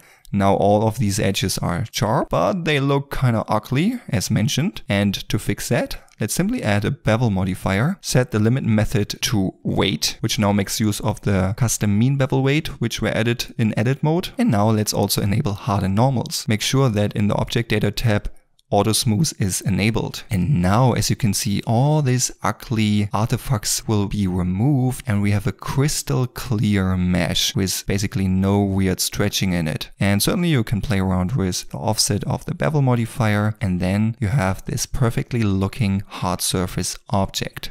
Using a bevel modifier is awesome, however, combining this with a boolean modifier can lead to problems. Let's press N. Here I have the bool tool add-on enabled, which comes with Blender. Now let's select this cube here and then this robot head with the bevel modifier on and then use the brush boolean and click on difference. Now we have this boolean object and when we move it inside, you can see this will be cut off the other mesh. The current setup is said that first the bevel modifier will be calculated and then the boolean. That means the boolean is just cutting away the area of the bevel modifier. However, if we want to have the bevel modifier on the edges from the boolean object, we have to invert this. So let's move the boolean first and the bevel modifier after. However, you can see that when I move this around, the bevel modifier is changing quite a bit. And this has to do with vertices lying pretty close to each other. So the closer two vertices on the whole mesh are lying, the smaller the beveled edge will be because we have clamp overlap selected. That means it prevents the bevel modifier from overlapping. Otherwise it would look like this and we can have a lot of weird artifacts. So clamp overlap is actually a good option. However, this can change the bevel modifier quite a bit. So let's go to a point where we don't see any bevel anymore. That means somewhere on the mesh there are lying two vertices so close together, maybe even overlap so that we don't see any bevel. However, there's a fairly new modifier. Let's add this one. It's called the weld modifier. And let's move this above the bevel but below the boolean modifier. That means the boolean is calculated first, then the weld modifier, and then the bevel modifier. And all it does is merging vertices which are lying very close together. That means we can increase the distance to merge all the vertices which are lying pretty close together. Take care, however, if you overdo it, you can lose a lot of your details as you can see. However, if you use very tiny values, close lying vertices will be merged and then we get our nice beveled edge back as you can see. This, however, does not solve all your boolean bevel problems, but in many cases this can help a lot as you can see. And now we have a boolean with a nice beveled edge over here.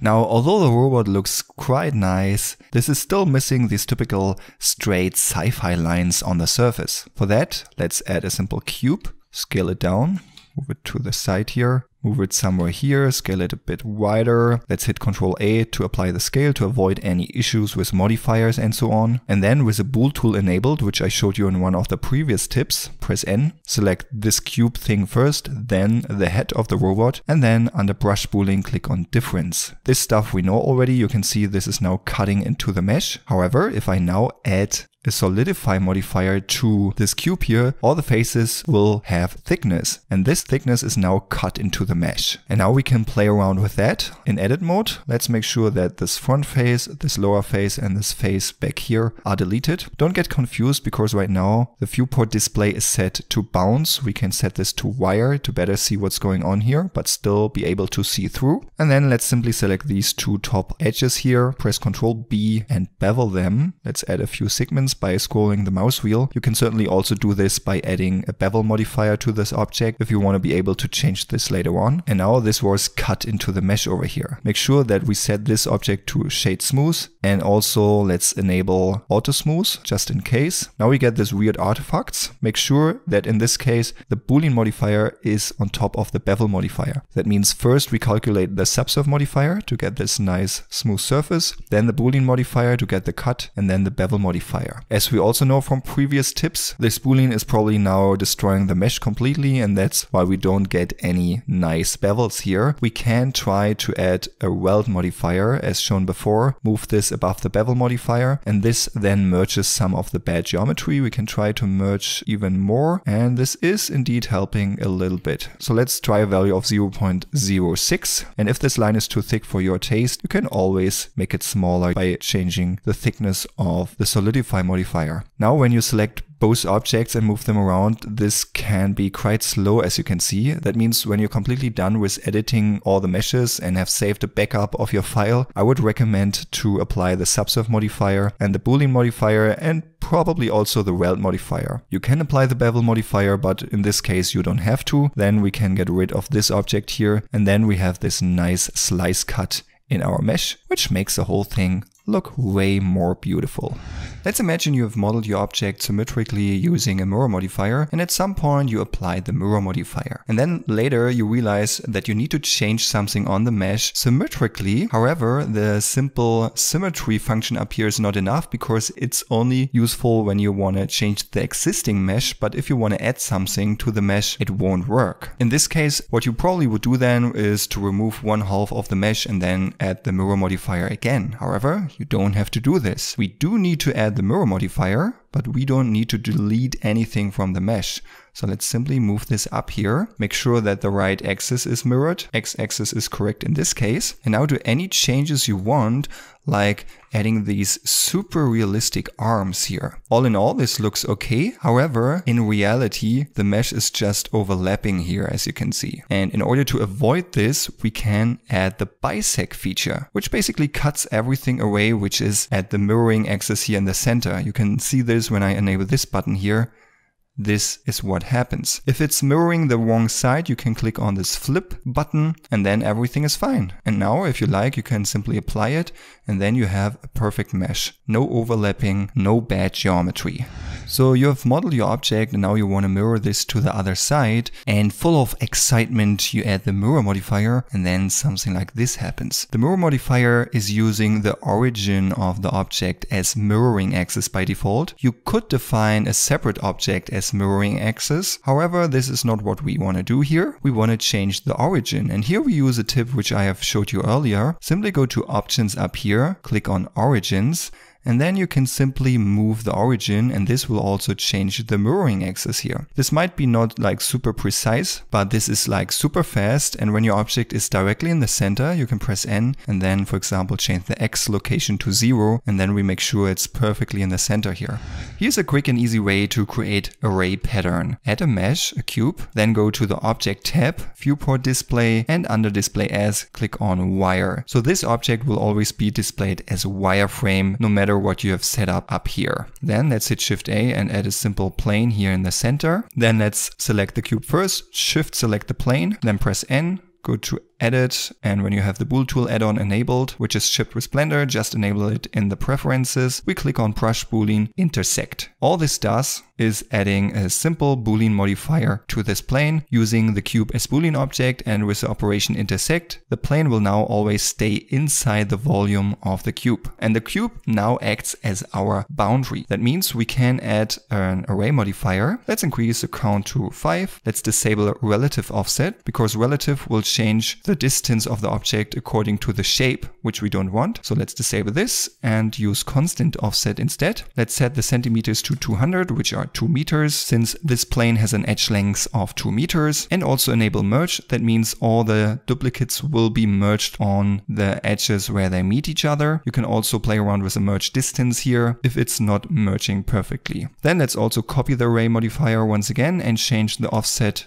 to the y-axis. So we have this big square. Now anything I change here will affect all the other squares here as well. Now let's do a quick change. Let's scale this, for example. Then let's add some loop cuts here. Maybe move them down a bit. Select everything, Shift D, right click, then scale this along the z-axis negative 1. Then let's rotate this 90 degrees and then we can rotate this all together, scale this up a bit so that it's pointing above the edges of the cube. And if we like, we can select all these edges here And with Ctrl B and scrolling the mouse wheel, we add this smooth bevel. Now back in object mode, you can see that it cuts away all the stuff which is outside the cube. However, all the edges of the duplicates are not meeting at the right spot. So what we do here, we simply apply the Boolean modifier. We can always re-edit later on if we like, since the cube still is in place, but then the mesh is cut here, and then we can simply select all the outer vertices here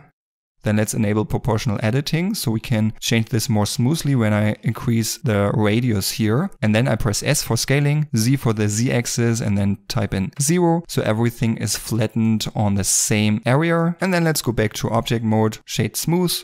Let's add a solidify modifier, make this a bit thicker. And if we like, we can also add a bevel modifier with harden normals and the normals set to auto smooth. Let's also change the limit method to angle so it looks a bit more smooth. And now certainly we can play around with all the modifiers here. For example, we can increase the array count to change the size of the pattern. And you can always go back to edit mode, change anything on this one specific object here, and this will affect all the other duplicates here. And certainly in the end, you can also apply the array modifiers, certainly also all the other modifiers, and then you're able to edit everything all together here if you like. So yeah, go crazy with this method. Let's have a look on how we can quickly create a circular array. First of all, here I have this very simple scaled cube. Let's delete the two outer sides here. That's important. Then let's add a bunch of loop cuts here, like this, maybe some here as well, and some on the other side as well. And now we can go in here and really go crazy with the shape. Let's extrude this one here. Let's push this one to the inside, and let's also extrude this one here. Since we want to add an array, I don't delete these faces here because they will be appearing here on the other side. If I would delete them, we would have some open holes. So let's add the array modifier here. As you probably know with this, you can duplicate the shape along a certain axis. When I press Alt Z, you can see that we can see these edges here. That means these duplicates are not merged into each other. So let's enable merge. And now comes the magic let's add the simple deform modifier, which allows us to twist, bend, taper, and stretch objects. And in this case, we want to set this to bend, axis to Z. So it's using the Z axis to bend it around. And let's set the angle to 360 degrees. Now you get the idea on how this works. When we now increase the count of the array modifier, we can increase the size of this circular shape. Also, let's right click shade smooth Let's enable auto smooth. And the cool thing now we can go in here and change anything on the shape we want. And this will nicely affect the whole circle. One little note here, you can see that the first and last object is meeting each other and there's still this edge which is open. The first last option here on the array modifier is not working in this case, so we have to add a simple weld modifier to merge this last open edge. And of course we can add a bevel modifier, limit method set to angle, and let's also enable harden normals, Alt Z, let's scale this down a bit. And now you created an awesome circular shape and you are very flexible. By the way, if you want to have some fine tune on the size, you can go to edit mode, select everything, press S for scaling. In this case, scale it along the X axis. And then as you can see, when I change this, it's also changing the size of the circle. And when holding down shift, you can fine tune this nicely. And now let's thank our little robot here with a nice crown for all of his hard work.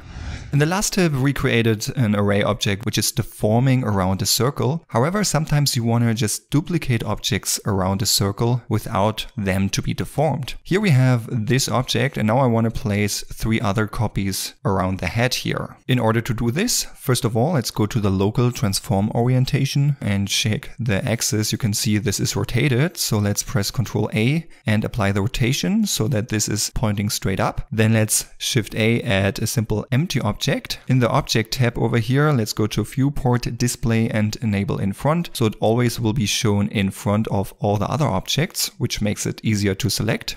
Let's move this up, hit Shift S and click on cursor to select it to place the 3D cursor here. Now let's select this object, right click and click on set origin, origin to 3D cursor. It's important that the empty object and the origin of this object are lying exactly on top of each other. Then all we need to do, let's add an array modifier to this object over here, disable relative offset and enable object offset. And here let's pick the empty object. Now we want to have a count of 4. This number includes also the original object. And then all we need to do is to rotate the empty object, in this case 90 degrees along the z-axis. Now you can see these objects were duplicated four times. The nice thing here is that we are now completely flexible. That means we can add more duplicates we can change the rotation if we like to match the new number. And we can even create spiral shapes if we move the empty up and down. And scaling the empty, as you can see, will also affect all the duplicates. So this trick has many other applications as you might can imagine. Robot tentacles, for example.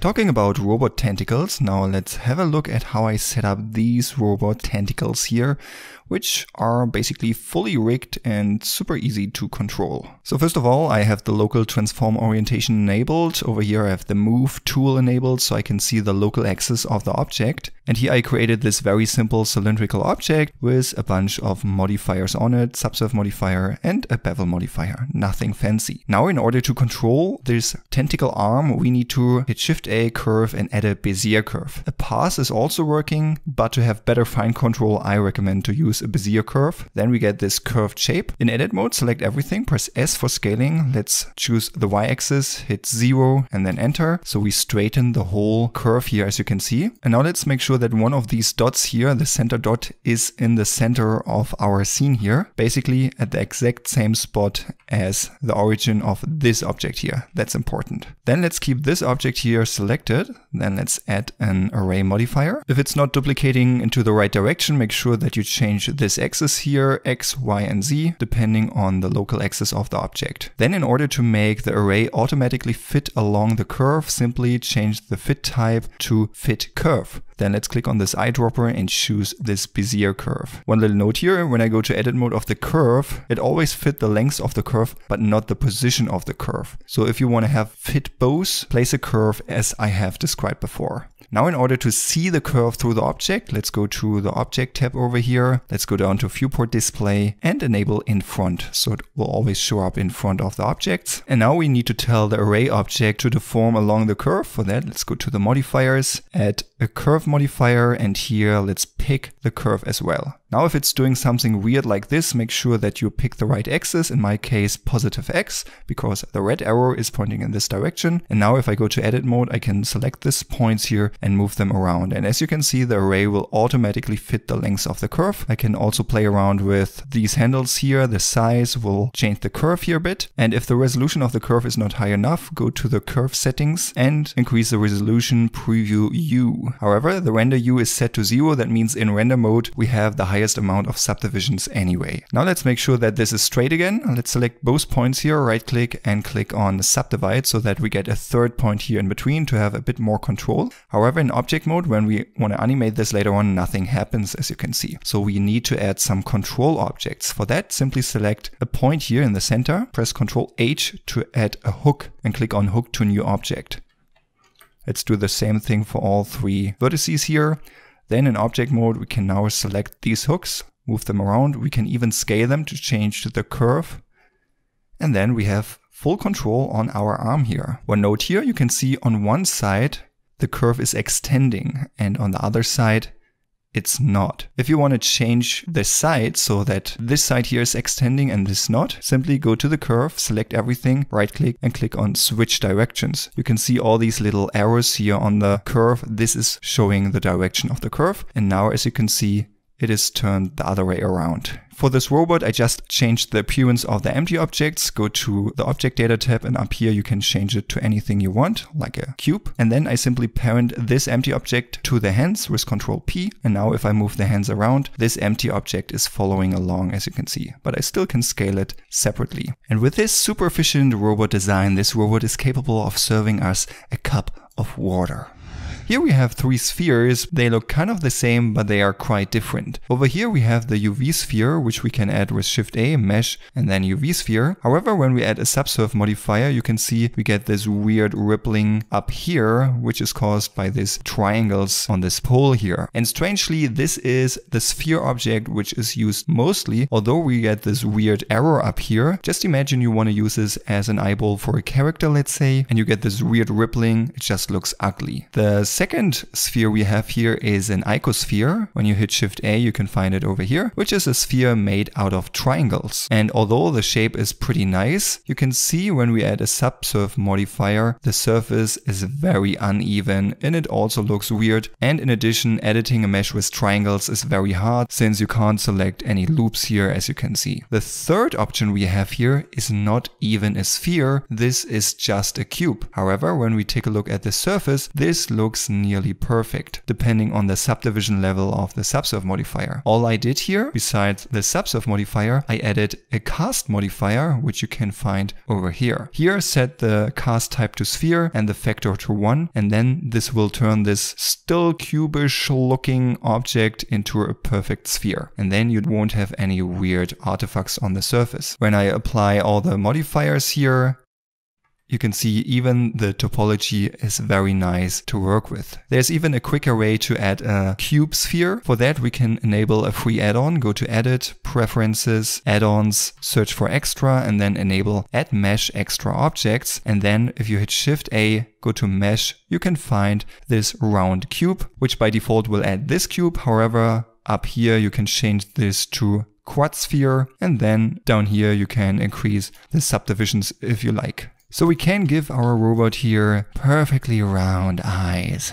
The stand I modeled for the robot head here looks like an extruded cylinder, although it's not. Let's select this, go to the modifiers and disable all the modifiers here. As you can see, this is a simple extruded edge, nothing fancy here. And a simple edge combined with some modifiers can make your modeling life easier. So let's enable all the modifiers. I have a mirror modifier, a subsurf modifier to smooth this out a bit. And then comes the magic. I added the skin modifier, which adds a mesh around an edge. Let's press Alt Z to enable the X-ray up here. And now you can see I can easily edit this edge here and the shape follows. We can also select this stuff here, Shift D, duplicate this, and you can even scale this by selecting a bunch of vertices and press Ctrl A, and then you can really go crazy with that. Let's enable clipping for the mirror modifier, and then we can create this weird looking skeleton thing down here. And in the end, I added another subsurf modifier to smooth out the whole mesh. If it ever happens that the skin modifier is not working, then all you need to do is to select a vertex, go to the skin modifier settings and mark this vertex as root. The skin modifier needs a vertex marked as root in order to calculate the mesh. Here's a quick way to add deformation to objects which are using the subsurf modifier. Unless we are not using the subsurf modifier, let's delete it and let's add the multi-res modifier instead. Important, the multi-res modifier can only be first in the modifier stack, so this trick is not working if your subsurf modifier was somewhere else, not in the first position. Now hit subdivide, and as you can see, it is basically the exact same result as we have with the subsurf modifier, with the one difference that we now can switch over to sculpt mode, and now we can sculpt on the subdivisions of this multi-res modifier. First of all, let's disable symmetry, and now Let's add a few bumps here and there. Maybe use the crease brush to add another kind of damage here and there. And when you're done, simply go back to object mode and everything's working fine. And the cool thing is we not even destroyed our base mesh here. If I disable the multi-res modifier, everything is still in place. So now we want to connect the eyes with the head here, although I don't want to just move this in here because maybe I want to change something here on the edge and it should lay exactly on the surface. And we can quickly do this. First of all, let's go to edit mode, make sure that this whole loop here on the edge is selected. Let's press Ctrl G to assign this selection to a new vertex group. You can also do it manually down here in the Object Data tab under Vertex Groups, create a new vertex group and then hit Assign. Now let's go over to the modifier tab. You can see we have a bunch of modifier here already, the subsurf modifier, a bevel modifier, and a mirror modifier. Let's add the shrink wrap modifier. Make sure that this is above the bevel and the mirror modifier in this case, but below the subsurf modifier because we want to make use of the subdivisions of the subsurf modifier. Then let's choose a target where we want to project this mesh on. Let's use this eyedropper, pick the head. Now you can see the whole mesh is now weirdly projected onto the other mesh, which certainly can be useful in some cases. However, in this case, we don't want to project the whole mesh. We just want to project the vertex group. So let's click into vertex group, choose a group, and now you can see only this specific group is projected on the mesh, but it still looks pretty ugly. And because of that, let's change the mode to project. And in this case, since when we go to the local axis of this object, this one here is a z-axis. So let's pick the z-axis and in this case negative because it's like the opposite side of where the blue arrow is pointing. And now you can move this stuff around as you can see either in object mode or even in edit mode, which is better in this case since the mesh is mirrored. And now look at that. This is nicely projecting the mesh onto the other surface. And we can even create something nice looking like this. And of course you can always apply the modifier if you want.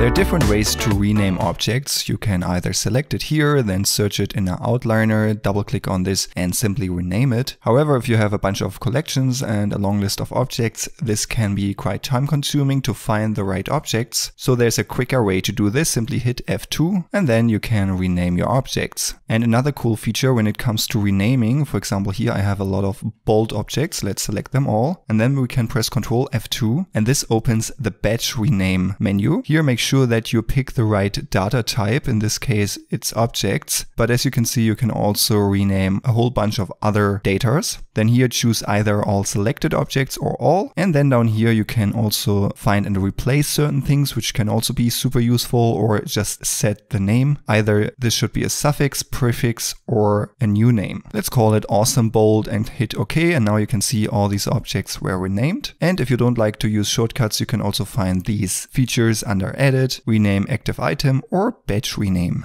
When working with complex objects which consist out of many elements, it can be helpful to organize each group of elements into separate collections. You can see I have a main collection up here for the whole robot which I can turn on and off, but I also created collections for subparts like the head, the gallon, nodes, the arms. You can see the arms even have sub-collections for the right and the left arm, and this can make working with a complex scene much easier since you can easily turn off different things for example all the bolts here, to only see what you need to see in your scene or maybe to try out different things without all the rest is in the way. You can easily create new collections by clicking on this button here and then double click on them to rename them.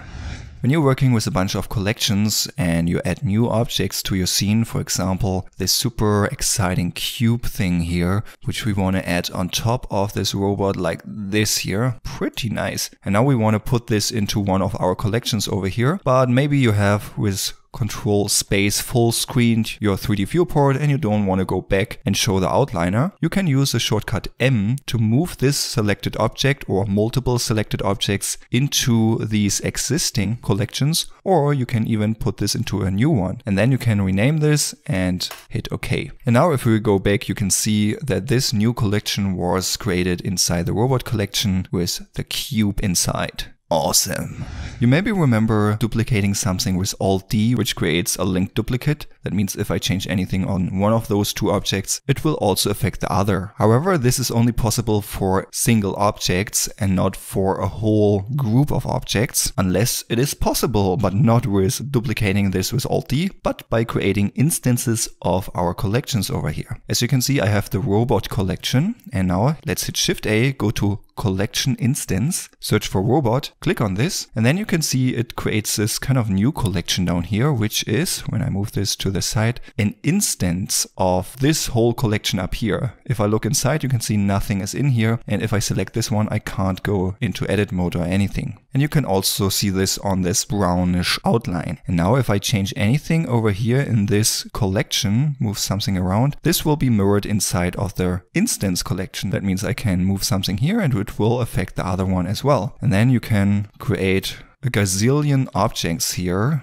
and this basically won't affect the size of your scene because all it does it's taking the information of this robot and it just displaying it multiple times. We can still like change the position of these instances and even scale and rotate them independently, but everything else is just copied from the original collection here. So we can make the robot dance.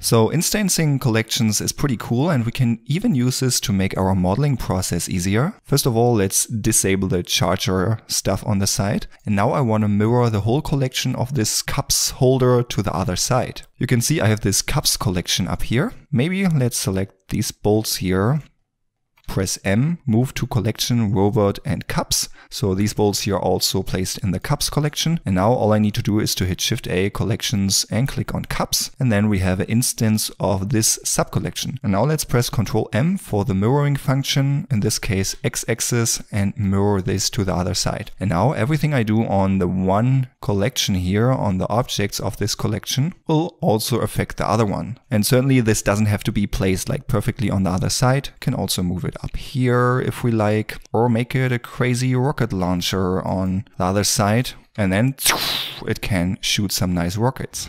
There's a small problem when working with instancing collections. For example, let's move this object a bit to the side and this one here is placed into the gallon collection over here. And if I now hit Shift A, collection instance and click on gallon, it will create the instance of this collection. However, if I move this to the side, you can see it will use the center of our scene here to generate the origin of this collection instance, which is in some cases not really usable. However, we can change this by selecting one object which is inside of the original collection here and then use the 3D cursor Let's go to edit mode, select this loop here, shift S cursor to selection, and replace the 3D cursor here. And then when this object is still selected, we can go to the object tab, collections. And here you can see this object is assigned to the gallon collection. And on the one hand, we could manually adjust the position of the origin. This will then of course change the position of this instance. Or we click on this drop down and then click on set offset from cursor. Now you can see it uses the position of this 3D cursor in context of this object and then repositions the origin of this new collection. And now this collection is much better to handle and when we duplicate this around, maybe these are some trees for our scene, this is now much easier to work with. But take care, as soon as you change anything on the original object here, this will certainly affect also all the instances. Parenting objects onto each other is super useful. For example, I can select this two objects here and then shift this one here, then hit Ctrl P and set the parent to object. That means if I now move this around, the other two objects will follow, but they are still separate objects which can be moved individually. Did you know that you can also parent stuff directly inside the outliner over here? If not, I will show you how it works. Simply hold down shift, then select this gallon here and drag it on top of the head. And that's it. Now these two objects are parented. And if you want to remove the parenting, simply go inside here. Here we can see the grayed out water gallon. Hold down shift, left click on this, move this somewhere else onto this collection here. And then you can see the info drop to clear parent. And then the parent is gone. So in this way you can like pretty easily parent a whole bunch of objects to other objects.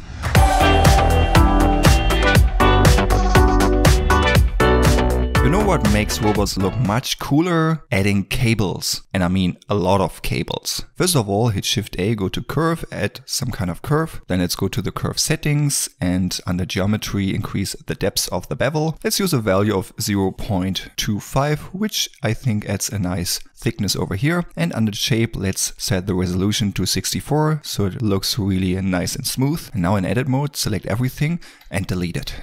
Yeah, don't worry, we will add a new one. So we stay in edit mode, we just want to work with a clean canvas here. Let's go to the settings over here and down here you can see projection depth is set to cursor. With shift right click you can position the 3D cursor and then at this position the new curve will be added. Let's take a look from the front and now let's use this draw tool here. And now we can draw some nice cables.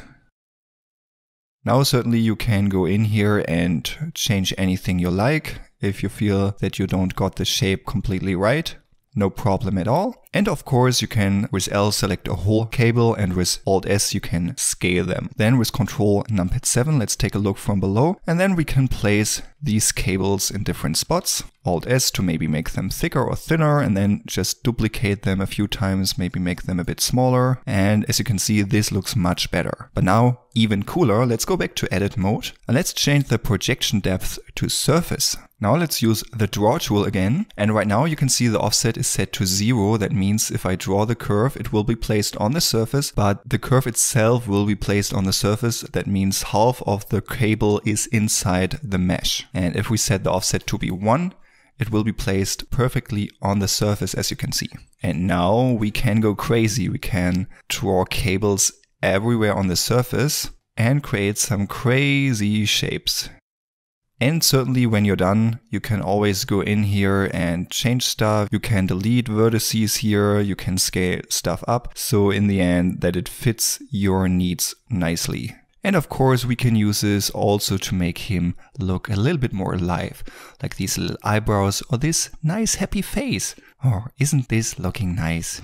And as final tip, I will show you how to create these sticky notes, since you will probably ask me anyway how I created these, since we can move them around and they will stick to the surface. First of all, hit Shift A, create a new plane, move this a bit to the side, in edit mode scale it smaller, right click, subdivide, and down here increase the subdivisions to 4. Then let's enable the move tool and local transform orientation. Press G and move everything down here so that the origin of this object is in the center of this top face here, roughly. And it's important that the y-axis is pointing to the top and the z-axis is pointing upwards. Then let's enable proportional editing and use this sharp curve. Alt left click to select this loop here, move this up a little bit. Scroll the mouse wheel to define the bending of this sticky node. Then back in object mode, right click, shade smooth. Then let's add the subsurf modifier for a smoother surface. Let's set this to 2. And in edit mode, let's select all the outer edges here. Press N, set the mean crease to 1, so we have sharp outer edges, but the whole surface is smoothed out. And then let's also add a solidify modifier. Make sure that the thickness is pointing to the top here, and I wouldn't make it too thick, so maybe 0.03. And in order to don't get these ugly shading issues, let's also enable auto smooth down here. Now nearly everything is done already. If I go up here, enable snapping, face snapping, and then enable these two options down here, I simply press G, move it across the surface. Maybe let's scale this a bit smaller, Control A, apply the scale, and then we can move them around and it sticks to the surface, at least kind of, because when we take a closer look,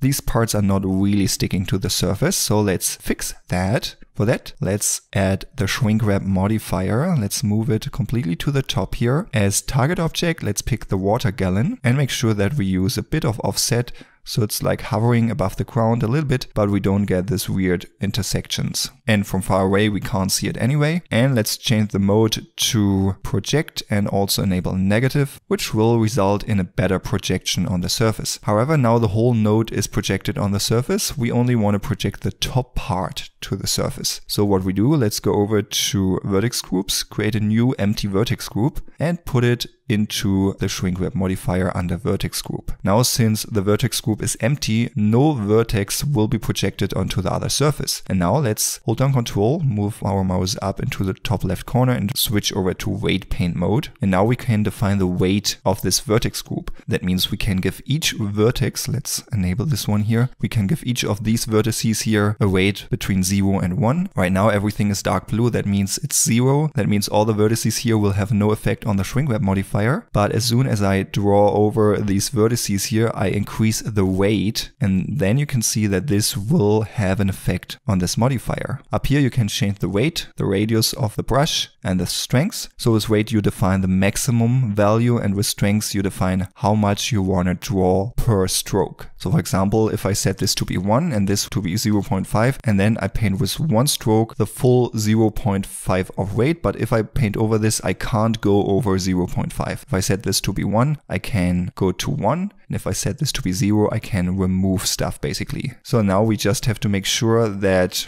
we paint this in a way that this looks nice because if we make it too strong we get some weird bending in between here. So paint over this a bit until you have a shape which looks nice. And that's it basically. Now we can move this around, make sure that snapping is enabled up here and then this will stick to the surface if I just duplicate a few of them. And if you want to switch the object, duplicate one, go to the shrink wrap modifier and change the target object. So let's remove the water gallon Let's pick the head instead. Now if I move it down here to the head, it will also work. When you get ugly results like this, you can increase the offset of the shrink wrap modifier a bit. So you can place sticky notes everywhere on the robot so you will never forget any of the tips you have learned in this video.